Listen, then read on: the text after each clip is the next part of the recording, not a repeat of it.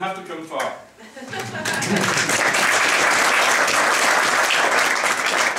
Thank you for electricity. One of these days I'm going to decide what I'm actually going to do for the rest of my working life. okay, as I know where the lights are, I'm going to dim you a little bit.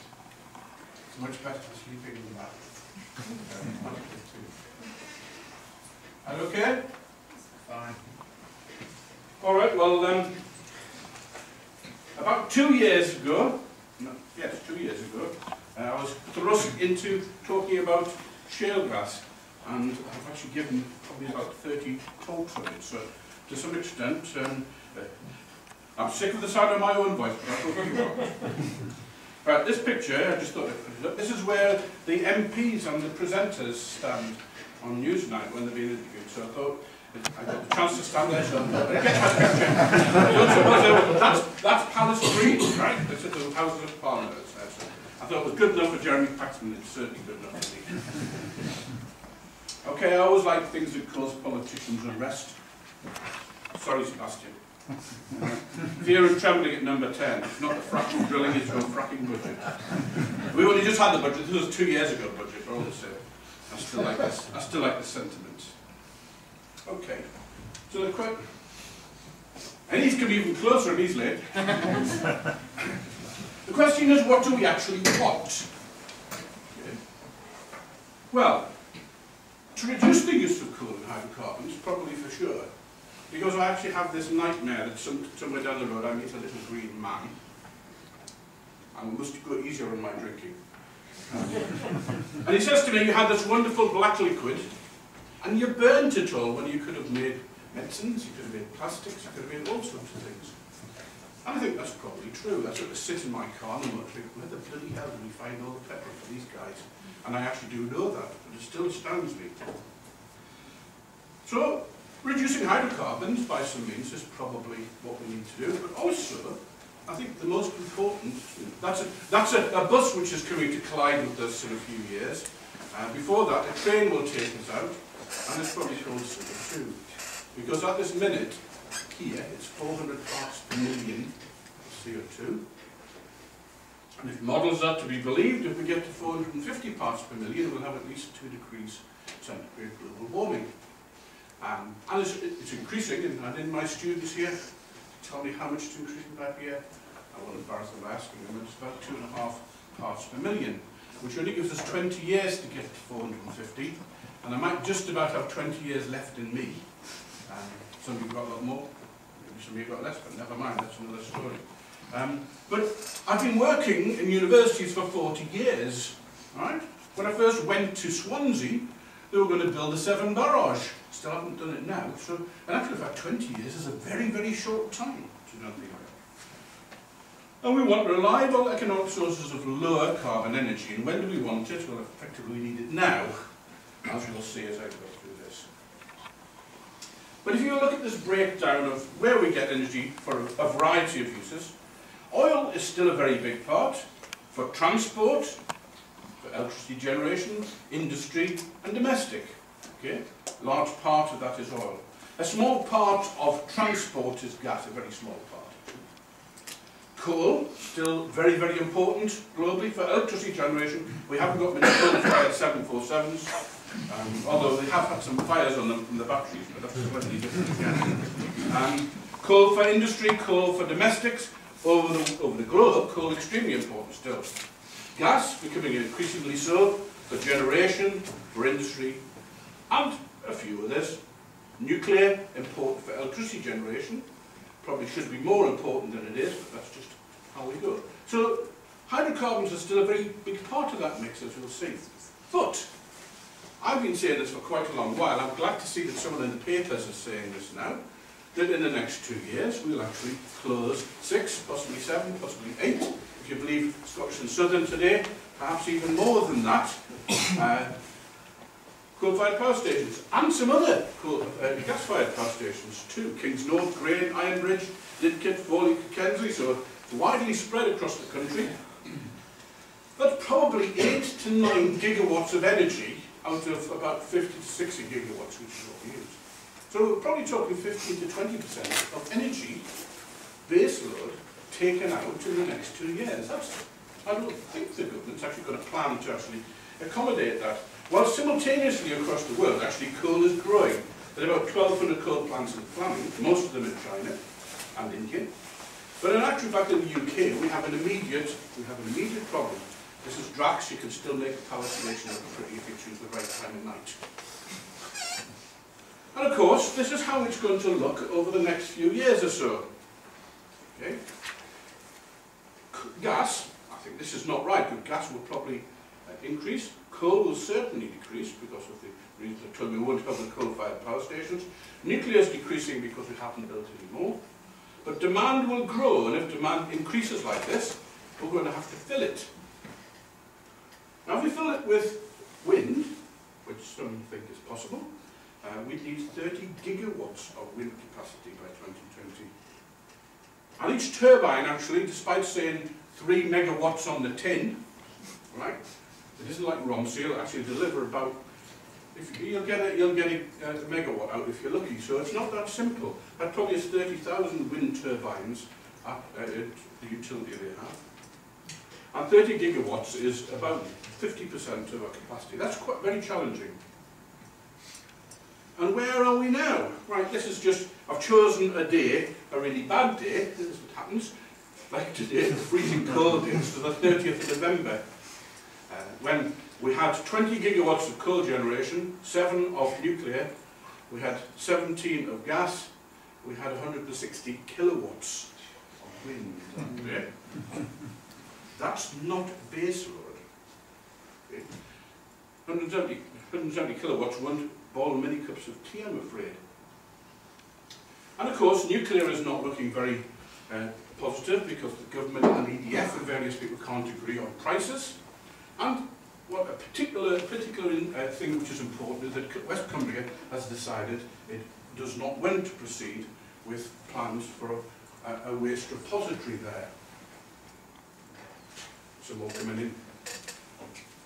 Now, the chairman of West Cumbria County Council patted himself on the back as to how environmental he was and how people would welcome the fact there wasn't uh, a waste repository in the Lake District. But another way of looking at it is they've now voted for 10 years more of having um, 100 tonnes of plutonium, plus a whole load of other things, actually on the surface at Sellafield. You may not realise we have 111 tonnes of uh, processed plutonium, when you only need 4 kilograms to make a nuclear weapon. That's 25,000-ish nuclear weapons worth. That's quite scary. That's not as that's not as secure and as environmental as the chairman of West Cumbria, whose name I me, might like to think. So, I blame the national grid. Right, there's nobody from the national grid here. Because 150 years ago, if you wanted something to heat your house, you took an axe, and you went outside and you chopped down a tree. George Washington did it, so it's good enough for me. And you burnt logs, or you went outside with a spade and you dug peat. Or if you're lucky, you went and got some coal. But you got it locally. But some had a lot and some had a little. So we invented the national grid which centrally generates energy and circulates around. But now it's a bit like supermarket meat. Everybody wants it, and nobody knows where it comes from. And look where that's, look where that's led us. There's no horse meat but you know what I mean. It is now sterilised. Everybody wants it, but nobody wants the consequences. We don't want nuclear, we don't want oil, this is the condo, we don't want coal. We actually, uh, a dilemma is that our environmentally, environmentalists want wind and not wind, so it's actually quite a tricky one. And I work on wind as well, actually, so so say no to nuclear, say no to ugly wind farms, say no to fossil fuels, say hello to thermal underwear and big sweaters. and of course energy security. Okay. Well, I guess a prime example of this is that in uh, 2008, 2009, that period, the Ukraine and the Soviet Union, Russia by then, had big spats over gas being well, supposedly stolen by the Ukrainians from the pipelines. I've been told that may well be true. But that's not really the issue. Um, Putin was able to switch off power to the whole of Europe through the Siberian pipelines. And actually, those pipelines run from up here in Stockton Field, widely across Europe, all the way down into Turkey here. Okay? And so we actually came to an impasse where there was virtually no gas being supplied. Lots of people died, lots of people died immediately, possibly a few more, probably a few thousand more died from hypothermia later. At that, at that time we didn't suffer too much, part, but only because gas prices didn't rise high enough in Europe for our gas to be bought into Europe. Because there's nothing to stop our gas, the free market of gas, and gas is what's called a fungible commodity. I did eventually go and look what, what that means. It means that gas you put at one end is assumed to be the same as gas that comes out of the other end. It's like electricity. You, there's no name on the electrons which go in. That's why you can have EDF energy or BG electricity, because it's thought to be this good word isn't fungible. You now know when to use it. And in today's news, Centrica unveils a 10 billion gas supply with the US to heat up to 2 million UK homes with American shale gas, right? Okay. Wholesale gas prices soared in Britain over the weekend. They've gone down now a little bit because the interconnector between Zeebrugge and, and Bacton in, on the east coast of East Anglia failed. So we've actually uh, bought liquefied natural gas. Now we have the Dragon facility in Milford Haven at huge expense. We also built a pipeline all the way from Wales all the way to the rest of the country. We have not landed a single tanker of liquefied natural gas since October. The reason being is the Japanese and the Koreans, and actually strangely the Argentinians, for a reason I'll tell you in a second, have bought it all. The Japanese because they've closed all of the nuclear power stations because of Fukushima. Korea has two nuclear power stations out of commission. And Argentina tried to nationalise the Spanish oil company there, who then said, to you with your gas. So that's where the gas has gone. We have now paid top dollar to actually get three tankers. I'm not sure what we paid, but we buy it in the spot market, and whoever pays most will land it. Until it lands in Milford Haven, free on board, it's not ours. Somebody bids more in the next couple of days, those tankers will not land. But that's not security. And that gas comes from Qatar, through the Gulf of Aden, past Somali pirates. This is where I did my PhD. When I did my PhD, we were buzzed by Russian MiGs, because the Russians had missile bases in Berbera. Uh, but now we are actually taken by Somali pirates. And there are oil tankers already there. But the consequences of actually hijacking a liquefied natural gas tanker are quite horrendous. But that's not energy security as I see it. So is it shale gas after all? Maybe it is, we'll see. We're going to discuss some serious issues. So where do hydrocarbons live? In the ground, obviously. But perhaps you should ask yourself before that, where do they come from? And they come from these shales. It's a bit of scratchy uh, shale from a core, somewhere in the coal measures here. Okay? Gas and oil come from shales. Most of it escaped hundreds of millions of years ago. A lot of it was trapped in places that we have to go and find like this. But much, much more of it went was taken at the atmosphere, reworked by biological organisms. Don't imagine that biological organisms can't actually deal with oil and gas. They can given time. So conventional, in inverted commas, gas sits in special traps where we actually have porous rocks. This is a bit of Keele beds. Right? It's a porous red sandstone. Right? It's got a high porosity and those, in other words, got lots of holes in it and those holes are actually quite well connected. That's ideal for storing gas, ideal for storing oil, and ideal for storing water. Makes a good aquifer too. Because you can pump fluids in and out of that quite little. Okay? Most people here have seen rock. If you're not geology oriented, I usually pass that round. Okay? Some sits in coal. This is a piece of coal. It's a really beautiful anthracite, this is. 96% carbon. Right? That, probably the finest you could get anywhere. This is from Cynheidre in South Wales. To get another piece of this, it costs you a billion quid. It's fallen to bits now, unfortunately. Rob with me in South Wales. The gas sits in there, trapped in the structure. They're about the same size. That will hold 10 times as much gas as that will. Because the gas is absorbed into the structure and a liquid-like layer by a force called the Lennard-Jones potential. If you don't think that's significant, Lennard Jones was the founding professor of physics at the road. That's why I always tell you that. And shales come somewhere in between that. Shales contain some free gas, but a fair amount is trapped. And this, if I pour water on that, it'll actually soak it up. This won't. It has very little porosity and even less permeability. The pores in there are not connected. In the sandstone, this is what we have.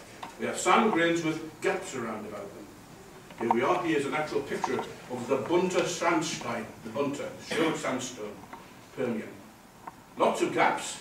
This is actually a dolomite, carbonate rock from the Ghawar field, the giant gas fields in Saudi Arabia. Both of them have got lots of holes in them, and those holes are connected. They're good for oil and gas. So I've just said what I've said here. All the gas in coal is adsorbed. All the gas in sandstones is in the porosity. In shales, it's somewhere in between. Now, the measure of porosity is the Darcy. Sands can have um, a thousand Darcys permeability. It's a sort of measure of how easy it is to flow through it. Shales can have about 10 to the minus 8, 10 to the minus 9. So there can be 10 to the 12 range of this permeability. Just a look at pictures. In gas shales, some of it is free gas because there are fractures. A lot of it is in the mineral phase, absorbed in this liquid-like layer.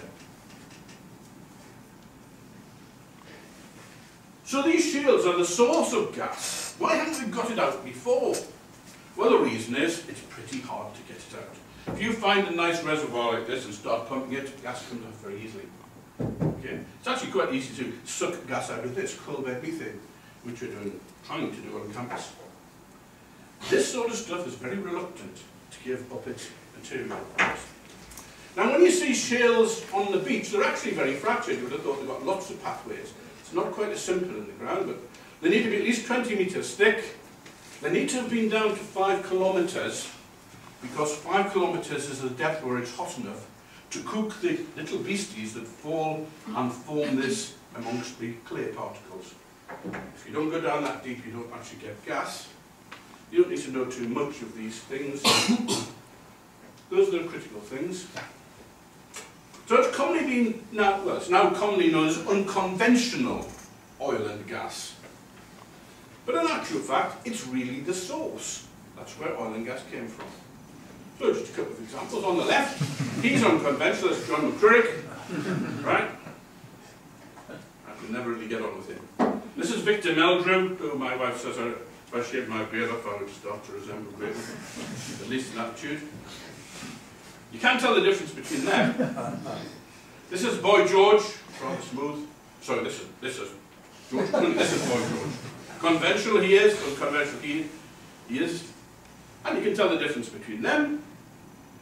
Unconventional gas on the left, conventional gas on the right, you can't tell the difference.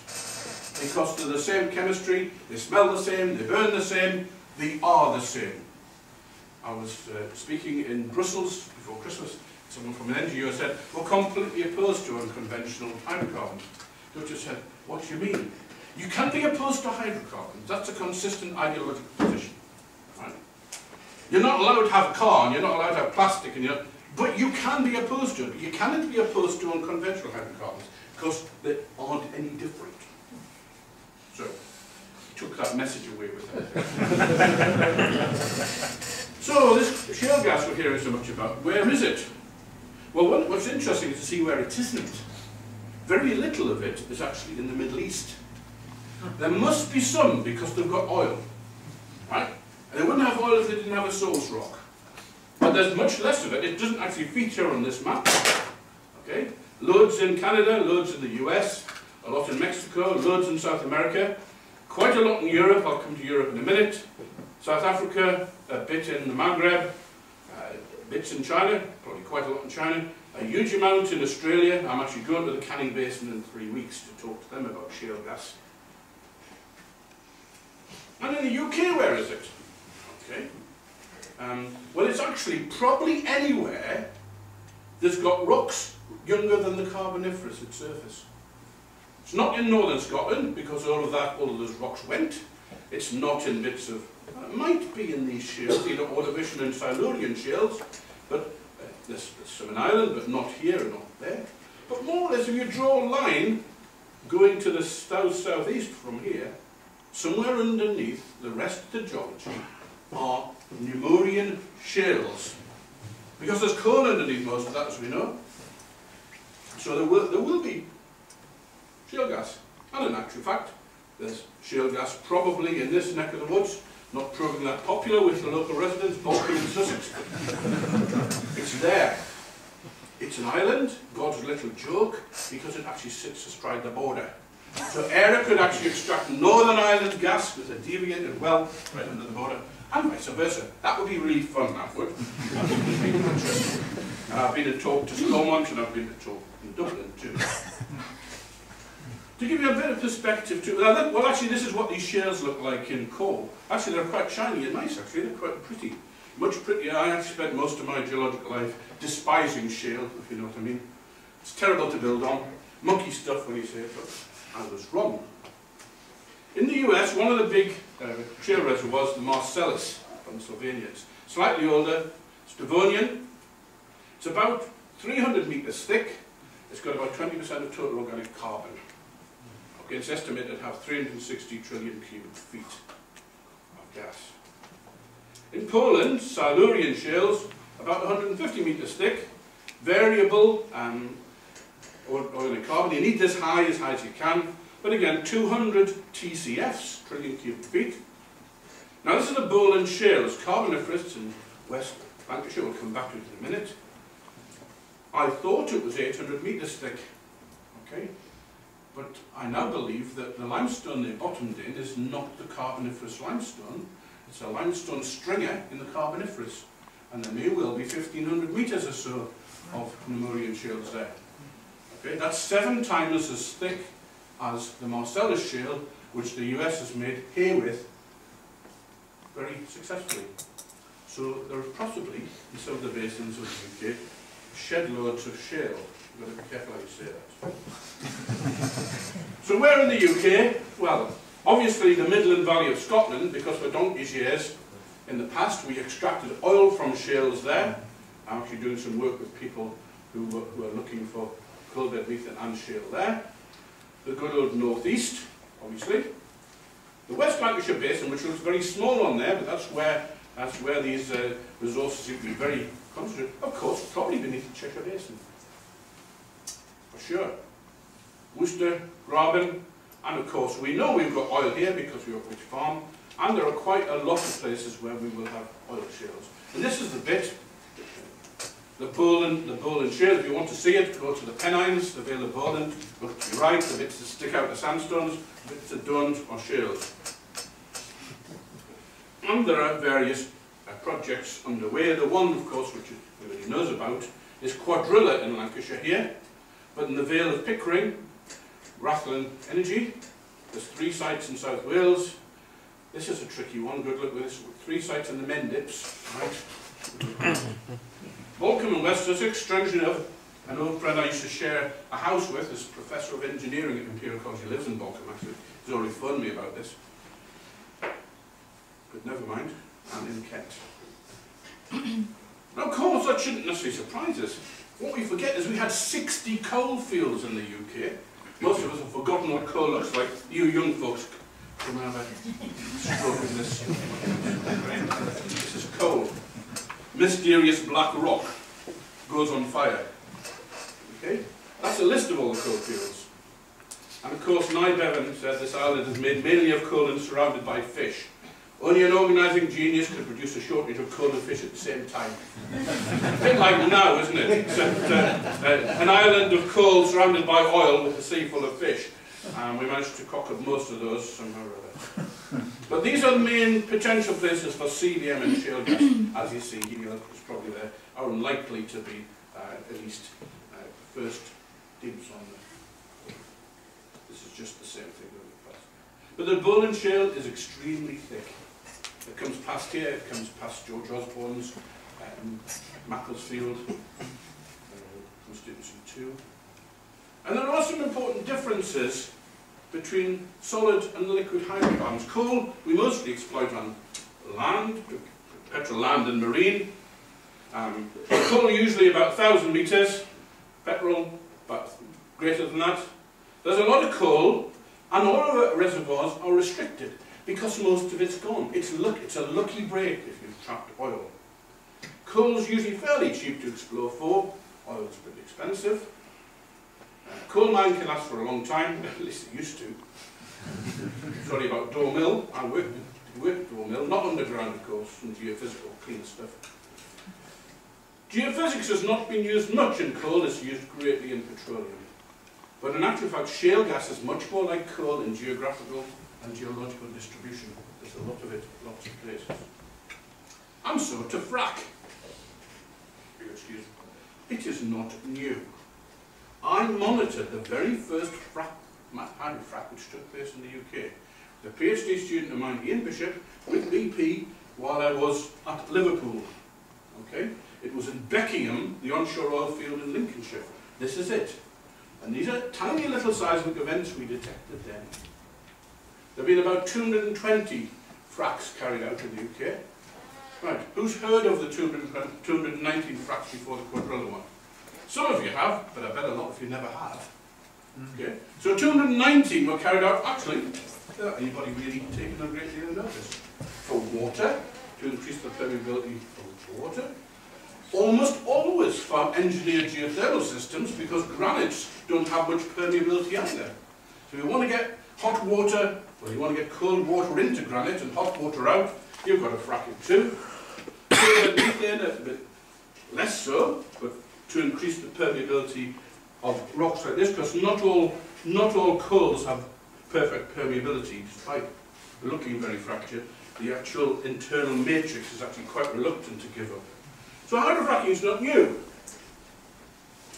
But what do we do? Well, if you believe the Daily Mail, we make this pact with the devil, right?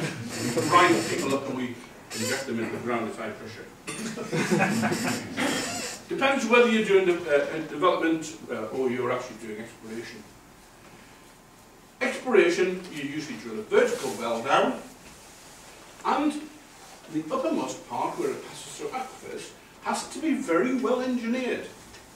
You generally have at least three rings of steel, okay, going down to various depths. Then you drill down to somewhere where you've got shale. Okay. I'll then leap to this one, because this is a bit more instructive. If you're actually going to exploit that, you will usually use deviated drilling. Now there are two things which have made shale gas possible, one of which is that you can drill down and go around corners now.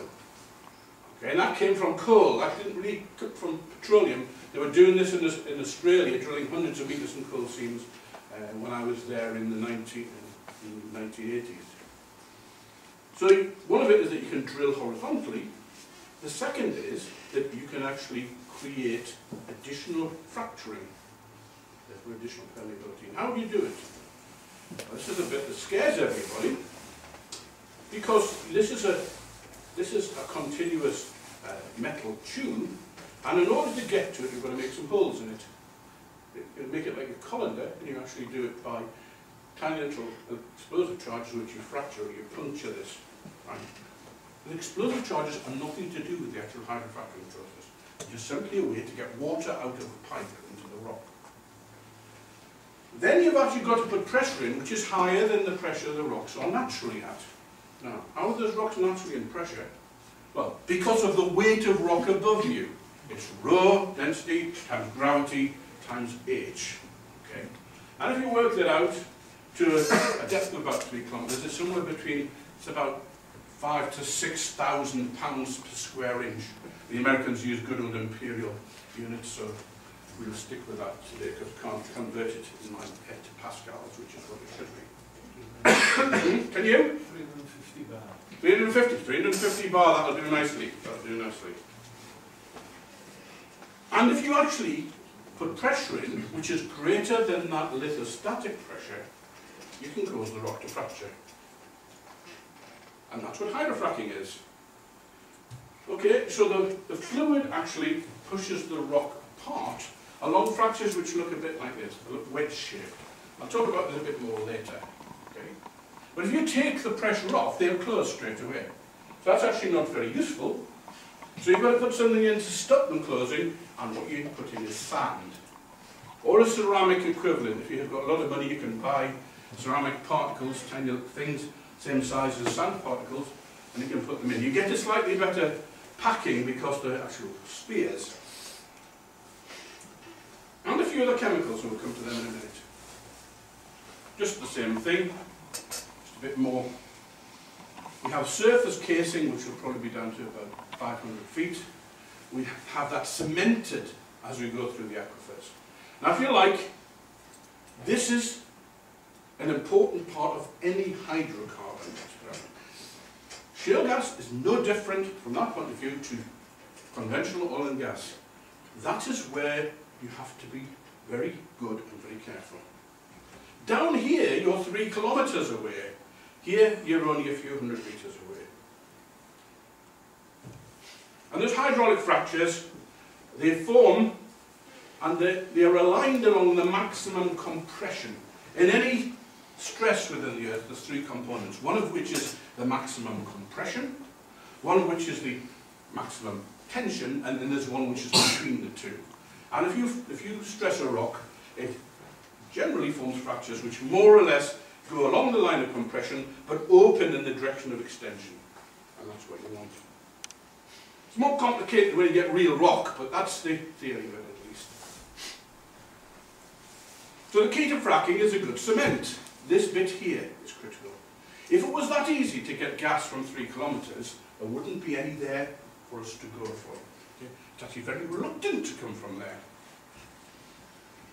Now, I'll talk about this a little bit more later, but this is all of the hydrofracks which have been carried out in the Barnett Shale in the US.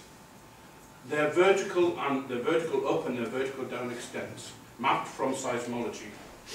This is all of the aquifers, right, mapped by various hydrogeological methods. Okay? You can quite clearly see that there is a really large distance between most of these hydrofracks and aquifers. Now that's really important. You don't want anything from here getting into here. Right? But in actual fact, in most of these cases, there's something like, what, five, six thousand feet of distance between the two. Under the rocks, of course, are the rocks which are not all permeable. And there's, there's really two ways to to frack. In one case you use you don't use water, you use a, a viscous gel, a bit like hair gel, not so smelly. And that makes fractures which are short and fat. That's what you tend to use if you want to get more oil out of a reservoir. That's a, a gel fracture. They're large but short fractures. What they use in shale gas is what's called slick water. We'll come back to that in a minute. But it gives long, slim fractures which go a long way. Okay. And this, is, this has been carried out, 100,000 or so fracks already done in the US. Felt seismicity is extremely rare, we'll come back to that later. And we want tiny little seismometers. We have no way of knowing what's going on deep in the earth without the tiny fractures which happen, which tell us where the rock is talking to us. Okay, that's what this is. We get thousands and thousands of these, they're tiny, magnitude zero and less, and they tell you where the fracture's gone. So how far can they go? Well, Richard Davies and I have been doing some work at Durham. Uh, we just got the second paper. This is his, his paper. We've actually just written one on induced seismicity. What Richard's done, he's taken all of the natural fracks, sorry, all of the stimulated fracks, and also the ones that nature does itself. Because nature fracks rock with fluids, with magma, various things, with gas sometimes, and actually determined the heights of it. And the maximum a frac has ever grown, as far as we know, is 600 metres, 2,000 feet. There's only one chance of it, one percent chance of it getting more than 350 metres, and almost bugger all chance of it getting to that 600 metres. That actually gives you a useful parameter that you should not frack within 600 metres of an aquifer, because there is at least some small chance, and that's what we told the government. And of course you'll have seen this if you watch Gaslands. Somebody lighted his tap. If he'd had any sense, he'd have separated out this gas, used it for his cooker, and poured his water on it. Gas has been burning out of taps in Pennsylvania since they put taps in Pennsylvania. because it's naturally occurring, most of it. Right? This, is, this was happening before they fracked there. Okay? Gaslands is not a good uh, source of data, I'm afraid. And of course, in the US, they don't do things as well as us. Uh, that's certainly true. They have been fracking at depths of much less than 2,000 feet which is a bad thing to do. And they put chemicals in it. Fracking fluid. Called fracking fluid, right? No, for me shopping. Water.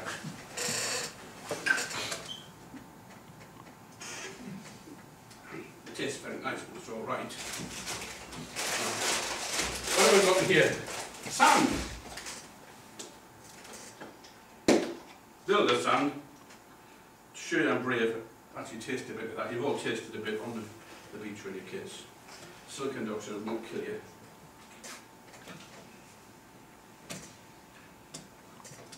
Probably not much more than that amount. Can't be bothered in. What else do we want? Bit of salt. I love salt, always love salt. My mother told me not to eat it, that's probably my blood pressure. So a bit of salt. What else we got here? Okay. Just lemon. Some acid in there. About this kind of concentration.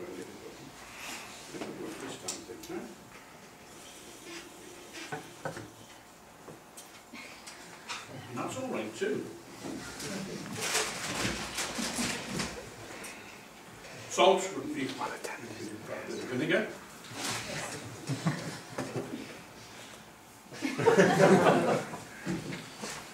I do turn funny right now. A bit of biocide, this is. I wish. I wish.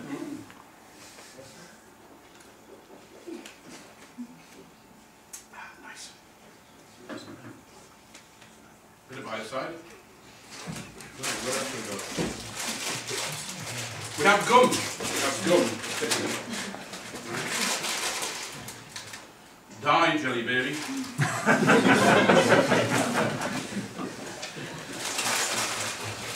Just get the audience on the side, I then pass these around. In case you think you're going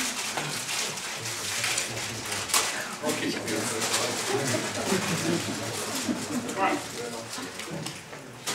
I am. Right, last thing, which I won't taste, but if you've got kids who've ever done the washing up, you'll know what washing up tastes tastes like, don't you?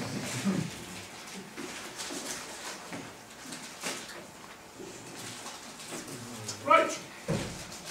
All of this constituents, the only one I turned my nose up was washing up.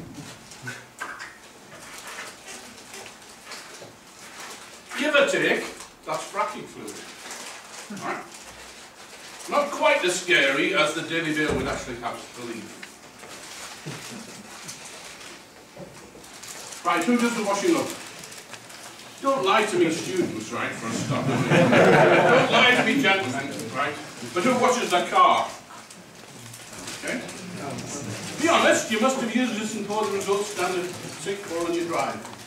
That's what it says on the back, okay? Right, non- non-ionic surfactants, that's actually detergent. Amphoteric surfactants, are also detergent. Disinfectant, okay? Dimethyl ethyl glycol, that's a bit like um, uh, windscreen washer fluid. Everybody goes around firing into the atmosphere all through the winter. Methyl chloroisothiazolinone, that's good, isn't it? I did that well. Here's one here, 2-bromo-2-nitropropane. That's an organic liquid of some kind. It's in up liquid. few other things. I did say to the fracking people, the problem is you're not putting enough perfume in it, right? This is mint and rosemary. but when you wash your car, do you collect the liquid in specially sealed containers and do you take it to a licensed disposal site? Do you agree? Right? Do you know how close you are to an aquifer when you pour that water on the ground? Do you know? Where's the hydrologist here? No, the hydrologist just don't admit to that. How, how close are we to an aquifer? It could be less than one inch. Less than one metre, right? Which is most likely to get into our aquifer? You washing or fracking? Good point, isn't it? Okay. That's fun. I need some practice with my head myself. But of course, there are other concerns too. Let's start down here. Contamination of groundwater due to poor well-designed failure. Yeah, you need to do it right. Contamination of groundwater due to mobilisation of solutes and methane. If it was that easy, there wouldn't be a shed load of gas down here in this shale. Right? Okay, okay, so that's the fracking bit down there. Contamination of soil surface or groundwater due to spills of chemicals or return fluids. Right, that's you washing your car. Okay? That's true of any hydrocarbon exercise. You just can't be cavalier with liquids. An adequate transport or treatment of wastewaters. That's true of sewage, that's true of farmers taking um, cow muck to spread in the fields. Right, how good is that actually in your aquifers? Is that good or not, Mr. Hydrogeologist? No, not good at all. Cryptosporidium, all sorts of other things. Um, fugitive emissions of methane. Okay, I haven't got a picture in here. I've got, I've got a picture of two guys standing around a tiny little couple of bubbles on the top of a wellhead. Anything like that is reported as a, a well failure. We're probably smoking if I'm really sort of Do you know where more, you know in Europe where most of the methane emissions, fugitive emissions come from? You'd like to think so. From the pipelines that bring gas from the Shtokman field in Siberia. Right? Because they're in thousands of kilometres. I have been told, I don't know how true this is, that in some parts of the Soviet Union, over the tundra where they're actually flexing because the tundra's melting, there's a 10% leakage. On average, it's at 1.5% leakage of those pipelines, and it's methane. Now, methane isn't 22 times as bad as CO2. Over my 20 years, which is all I'm prepared to think about, it's 75 times worse than CO2. So 75 times 1.5 is actually about 111. Okay? Bringing the gas has got a higher carbon footprint than burning it at the other end. So sourcing gas from 5,000 kilometres away by pipeline, that's where fugitive emissions come from. Okay, another sermon here. right, so I don't actually buy into that one, this is from water use and hydraulic fracturing. Okay. Okay. I always say to people, have you got gas? I don't actually, sorry. You got gas? Yeah. Yes. Yeah, where do you get it from? I know the pipe. Turn it on. Okay. But you all want gas, don't you? Because 70% of our domestic heating and cooking in the UK is gas. Right? 50% of any generation on some days is gas too. But we don't want to generate, we want the Siberians to actually have all of the crap end of it. Okay? Because it's fungible, you see. What they put in at that end comes out the other end just the same. They have no regulations like this. We've got the Water Framework Directive and the Groundwater Daughter Directive, blah, blah, blah, the Environment Permitting Regulations, we've got the Mine Waste Directive, Abstraction Licensing, etc. A friend of mine is the chairman of INEOS Chlor, Runcorn. If he tips a can of Coke in his wastewater, he exceeds his discharge emissions. One can of Coke. Right? That's how we regulate in the UK, and that's good. Right? This is it's places like this we should be doing stuff, not Siberia. Okay, when the argument says uses a lot of water. Yes, it does use quite a bit of water. Each frac uses about as much water as it would take to irrigate a large field. Okay. In the Barnett in Texas, 83% is public supply, 4% is mining, 6% is irrigation, 2% is livestock, just less than half of is shale gas. That's one of the biggest shale gas producing states. Arkansas, I Can't see why it's only that, must have a lot with the water somewhere. Point 0.1 shale gas, uh, Texas, point 0.8 again, Pennsylvania, less than one percent, point 0.1% of the water usage is actually for shale gas. That's not exactly a gigantic call. Livestock and irrigation are by far, apart from domestic supplies, the major users of water. Doesn't mean that water can't be, to be treated carefully. I'm going to the Canning Basin in Australia. Water is a scarce resource there. And so the Cuadrilla. So Cuadrilla came from Texas. Okay? Very sensibly, they thought the Bowland Basin was a very good prospect. but I know, I've known one of their directors for more than 40 years, Peter Turner, because we did our PhDs together. Okay? And I said to him, Peter, you know what you want to do before you do this? You want to do some microseismic monitoring and a bit more geophysics. To which the Texan said, what does he know about hydrofracking? So they didn't. So they started fracking. The Bowland Basins up here, this is the file down here, Bowland Basin runs through here, there's a lot of faults. There's more than they thought actually, as we'll see. The Bowland Basin is a bit unusual in that most of Lancashire's got thick coal measures, the Bowland Basin doesn't. Okay? Erosion, uplift and erosion has taken place, so that some 1500 metres of coal measures have gone, which is quite unusual. Perhaps there's a clue in the fact as to how that actually got it there, but we'll come back to that in a minute. But that actually means that uh, you've got the, uh, the, uh, the Bowland shale much shallower than you might have, which is good for some things. And so off they start. These DFITs, that's a tiny little hydrofrac, okay? You pump in about 30,000 gallons, which isn't that much, 130 cubic meters, okay? Because that allows you to determine how well it will frack, and also tells you which direction it will frack to. And then you pump in quite a bit, about half, um, half a billion gallons, half a million gallons, sorry, which as I say about uh, irrigated field. All goes well, first of all. They do the second one, and on the 1st of April they have a magnitude 2.3 seismic event. I did say you should be microseismic monitoring to them. I did use, I told you so there. And the casing actually was deformed. Not necessarily a good thing.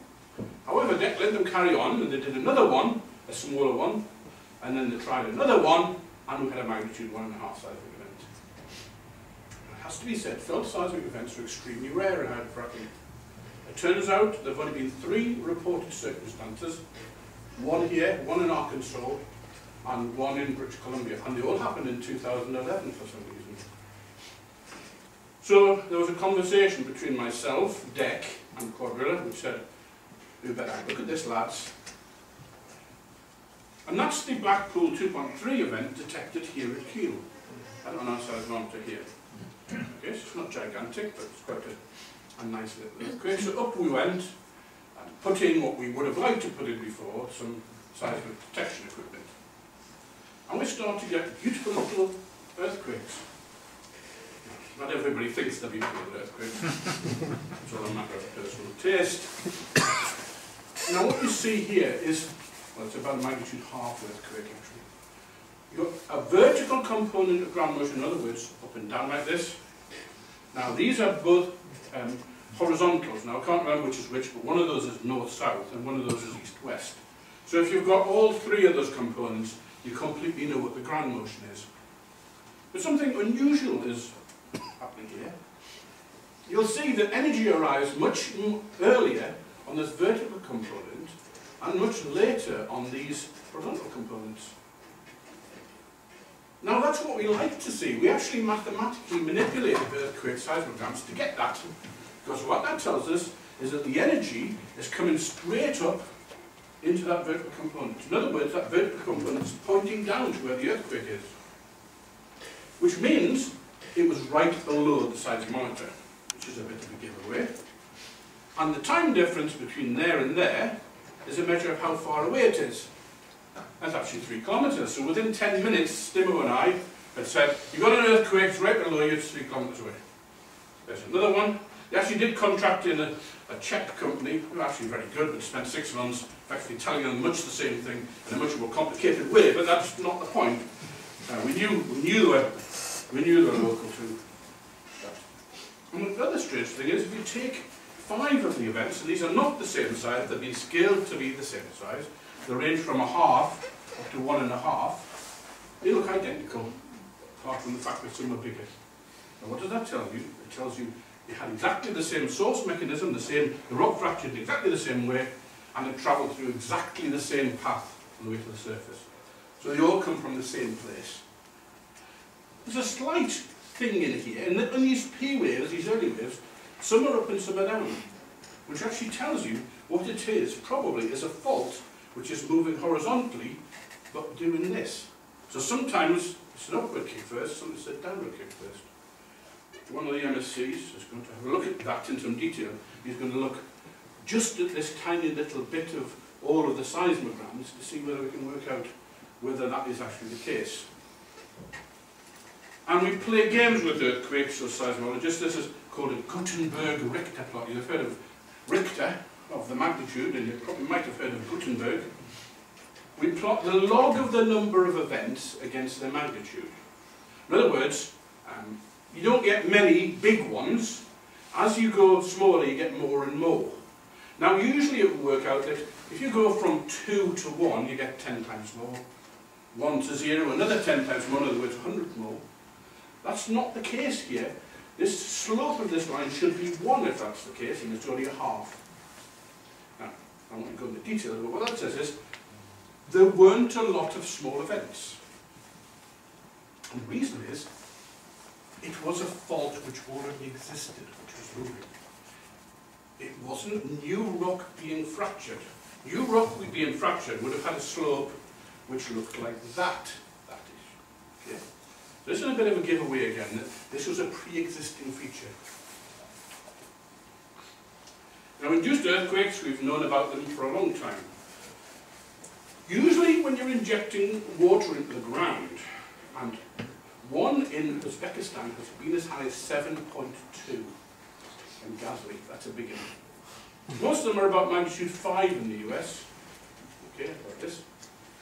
In southern Spain, actually taking water out of the ground created an earthquake, because they took 250 metres of groundwater, which is a huge mass, and the upward rebound caused an earthquake. So you mess with the water ground uh, very cautiously.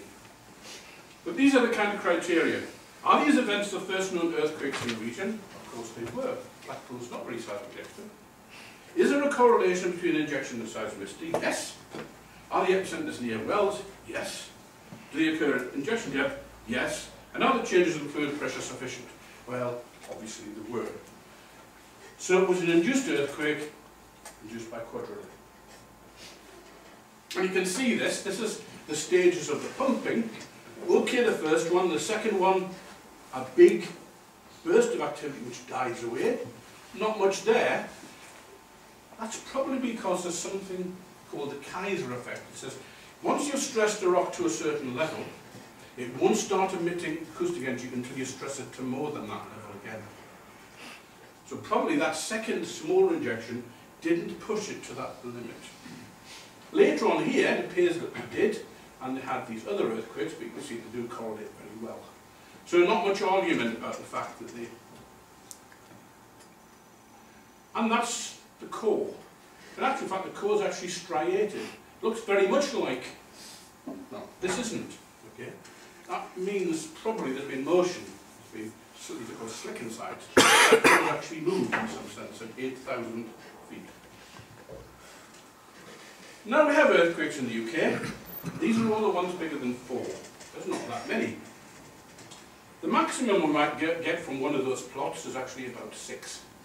We've had five and a bit. Might have six in the Dogger Bank. And they occur deeper in the earth. They all occur at about 15 kilometres. Now why is that? Because the rocks have to be a certain strength to give you a magnitude 4. If the rock is not strong enough, you won't get a magnitude 4. This is a plot of the smaller events. Okay? This is isostatic rebound of northern Scotland, still 10,000 years after the ice. That's the Fife and Midlothian coalfields, that's the Northumberland coalfield, that's the Workington coalfield, that's the Lancashire coalfield, That's Nottingham, Leicester, etc. coalfield. This is the North Staff coalfield. That's the South Wales coalfield. Not all coalfield events, but at least 50% of the events on there are mining induced. And mining induced events in, the, U- in this neck of the woods, the rest of the UK, will generate about a magnitude 3 earthquake. Because that's as strong as these kind of rocks are. Okay? So I am fairly confident in saying that you cannot generate in carboniferous rocks, an event bigger than Now, most people don't actually have any appreciation of just how small the slips are during earthquakes. Here's a magnitude 6 earthquake. The slip on that earthquake is less than a metre. Okay? It's over a distance of about um, 10 kilometres, however. Okay? Magnitude 4 has a slip of 10 centimetres on a 1 to 4 kilometre fault. A magnitude uh, Blackpool event is about 3 millimetres of slip on a 200 metre fault. That's not a lot. Okay? And most hydraulic fracture events are a fraction of a millimetre on a few metres fault. As are most mining events. I was always surprised by how small the displacement was. And strangely, in the last 50 days, we've had a lot of mining-induced earthquakes. Which I believe we have. Nottingham, um, Ollerton, Lloyd will correct me if I've got these. My stake, right? That's Bakewell. It's actually closest to East Leake, actually, uh, gypsum mining. New Ollerton. One of these is Asterby. Now, why do we have those? Gosby, yeah, Gosby. Been pinned Yeah. That's a speculation. Hydrogeological changes. Now, longwall cone mining generates earthquakes. That's how we know about the mechanics of this. In a longwall mine, we take all the coal out. This is a shearer here, this is a conveyor belt, and we let it collapse. And it collapses in a progressive way, hopefully. Rocks fall into here, they then, then deform, we get bedding separation, eventually, hopefully, we get a smooth surface substance. And we get lots and lots of earthquakes. This is actually Coventry Colliery. This is one day of monitoring, right? Hundreds of earthquakes, tiny little ones all around the face. That's good, that tells you what's going on. They're friends, not foes. And most of them look like this. They have a little P wave and a little S wave, they're lovely little creatures. There's another one, this is going back a long way. This is Cynheidre, from this kind of neck of the woods. Beautiful, crisp. This is when we played it out on pens, which were UV on, on, on film, right? That's how I am. Um, but also another thing happens which is much more akin to hydrofracking. In these mines, you get instantaneous outbursts of gas, where this coal disintegrates and millions of cubic feet of methane. And that's one of them there. In 1982, my, wait, my wife had our first child just here. so while my wife was pre- pregnant, I was actually running through these records, trying to keep an eye on her. And then we had a baby and I was still trying to process this. But the events are not like those other events. They have this musical note. And this is what happens when you hydrofrac. Right? You force a fluid into a fracture. In this case, it's gas into coal. Right? In hydrofrac, it's water into a fracture. Hydrofrac events look like this. They're called mode 1 failures. Earthquakes are mode 2 failures when the rock does this. Just was my sketch of what actually happened during it. That's another story. But what was interesting, this is methane monitored in the mine, what's called a BM1 monitor for those of you who know these things. That's microseismicity measured a kilometre away on the surface. Pretty good correlation. Correlation is not causation, everybody says. That bloody is right though, I tell you. We actually devised a system which controlled that mine. But induced events like this happen in younger rocks. Okay? Hydrofrac occurs in even weaker rocks.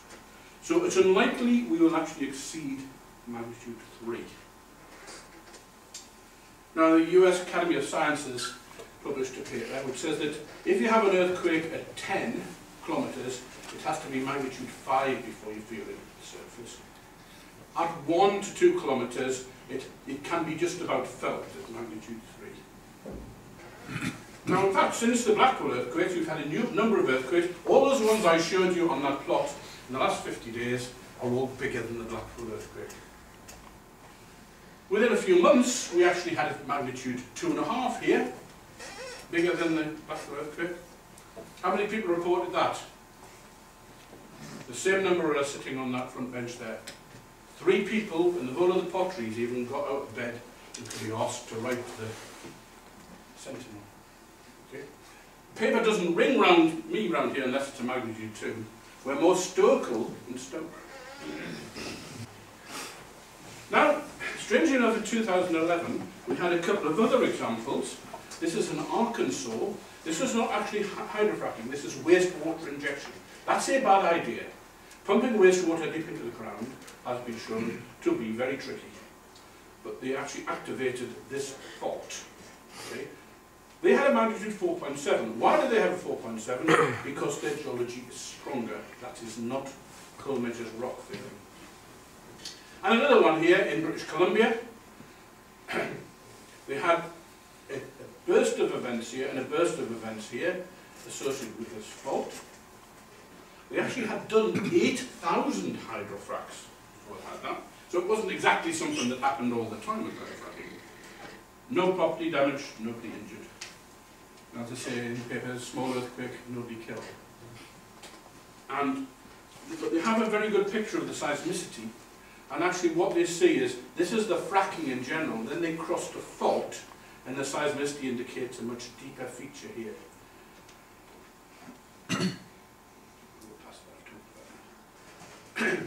now, thousands and thousands of fractures, hydrofractures being done in the States. This is a plot of their magnitude along the bottom against depth. The deeper you go, the bigger they get. Because there's more energy to store. Okay? Almost without exception, they are, there's this one here, they are less than magnitude a half. Now a magnitude a half is something like um, something like 900 times less energy than the Blackpool earthquake.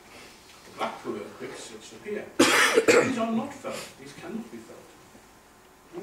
Uh, actually, someone who's sensitized to it might feel magnitude 1. Usually it's one and a half.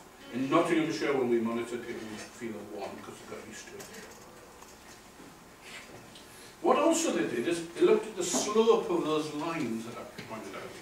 And what seems to be the case is that below a half, the fractures do this, in other words, tensile failures.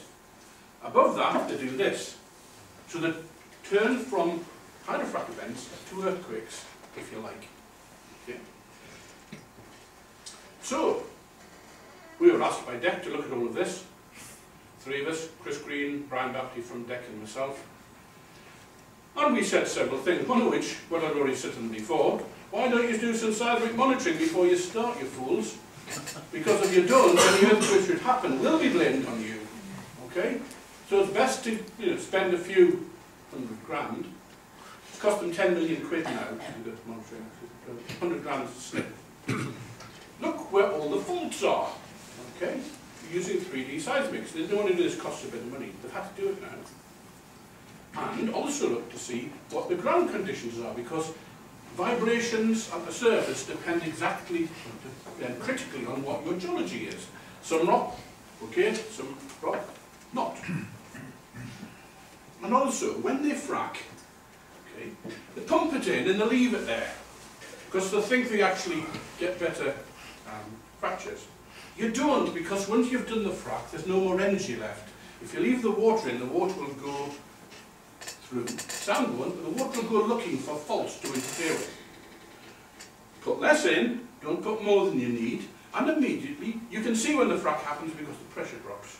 Pump it out again, right? The sand's in there. Don't hang about pumping water into the ground, that's a really bad idea. And uh, easy. Initially, they wanted, Cuadrilla wanted to have a magnitude of 1.7. They were advised by a German group that 1.7 would be the threshold at which it would be okay to work to. We said not because of the work that I've just shown you, that something mechanical happens at about between 0.5. So we invented a traffic light system. It's in detail, which is in detail here. There's been a lot of discussion about this, mostly because people have not read what we actually wrote here. If the earthquakes are less than zero, bang, rock on. If the earthquakes are between 0 to 0.5, say, just wait a minute, right? You can complete the job, you have to pump water out, okay, do a mini frac, no more earthquakes, carry on. Okay, but don't put any more water in. If it's 0.5, okay, and more, stop for a while and see what happens to the seismicity. If the seismicity doesn't rise to 1.5, okay, you can carry on cautiously. If it goes to 1.5, pump the water out and stop doing that thing. So it's not 0.5, it's 1.5 is the actual stopping point, which not many people have actually read this properly to actually find that out. Nobody Swiss yet tonight, is there? Even if there is, I'm going to insult you, because we're rarely more conservative than the Swiss, but the Swiss thresholds are actually 2.3. Unfortunately, they then had the 3.5 Basel earthquake, and the insurance claims from that have been many billions of pounds. Mostly because everybody said, I've got a crack here, right, pay me. And they paid everybody. Almost certainly, hardly any of that damage was actually due to that three and a half earthquake, but depends whether you want to get involved in litigation, and they didn't. Okay? I've talked to the guy who, who set this up and said, I bet you wish you had 0.5. So, and of course, so those are rules we've actually said, well not rules, the recommendations we've made to government. Right? Don't put any more water in than you need. Take it out when you're finished with it. Look at your seismicity. Your seismicity goes through these levels, authorities sitting on top of this. The most difficult is not DECC or EA or HSC. Which one is it? Local planning authorities. For sure, everybody here probably uh, agrees with that. That's exploration. Similar for development, again, probably the most difficult, and this is what is exercising Cuadrilla at the minute. Uh, they have to do six separate EIAs for every one of their wells, so they've actually delayed their drilling until next year, which is a bit of a pity. So we concluded the risk of significant seismic activity associated with hydraulic fracture in the UK is small, and damage is extremely unlikely and that it can continue under a regime of careful macroseismic and geomechanical monitoring. But still leaves a few research questions for people like me to get money to work on. That's how it works, right? Or we'll have some nice questions. Why does triggered earthquakes occur in some places and not others? Is it what you're doing? Is it geology? Is it how you're doing it? Can you alter the injection practices? And you can. You can frack with CO2. You don't have to frack with water. In dry places in the world, probably far better to frack with nitrogen or CO2. They're compressed, they're liquids, right? Have much less uh, environmental issues, it's cost more though. And once a significant earthquake, if it occurs, what should you do? And we've probably already dealt with that. And how do you regulate this? And I wrote an article, I was asked to write an article, a head-to-head -head piece. Uh, myself and Caroline Lucas, I'm the one on the left, Strangely enough, Caroline Lucas didn't agree with fracking. She doesn't actually agree. She takes the ideological position you're describing for. We don't want any hydrocarbons at all. Okay, that's fine, Caroline. I'll see you on your bike. We will when the coal mine, when the coal-fired power stations are closed. You have to ask yourself, where are we going to get it from economically? In other words, not pay top dollar to overbid the Japanese for the liquefied natural gas. Ethically, in other words, so the poor Siberians don't have all of the crap at their end, we just have the clean gas at the other end, and as environmentally as possible. So I'll leave it to you to decide where that should be, but I'll give you a hint, it's probably shale gas.